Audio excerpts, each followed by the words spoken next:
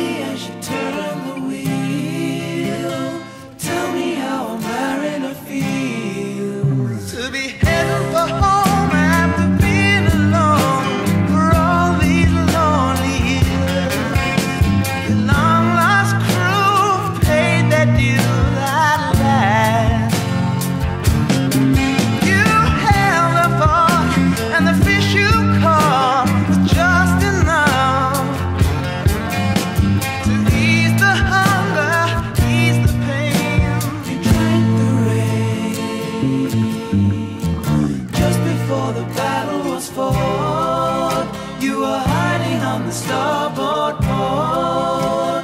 The captain was rehearsing his speech. The memory is just out of reach.